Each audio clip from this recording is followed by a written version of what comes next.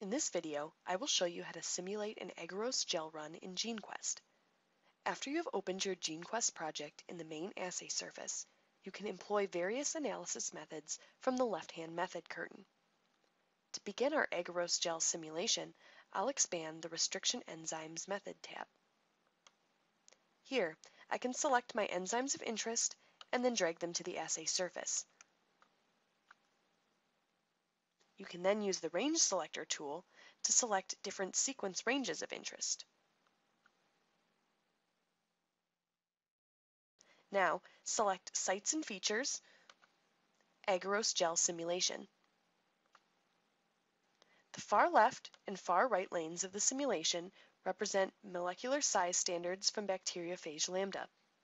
Above each lane is the name of the enzyme used. The fragments shown in red represent fragments within the range selected in the assay view. You can change this selected range by double-clicking on any of the fragments.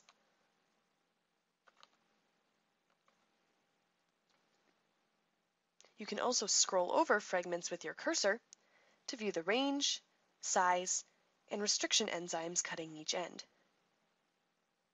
For additional information, you can also access the Restriction Fragment Summary under the Sites and Features tab.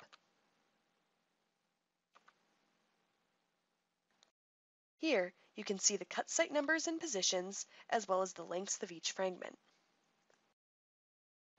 For more information on GeneQuest, please visit our website at www.dnastar.com or contact us at support at dnastar.com.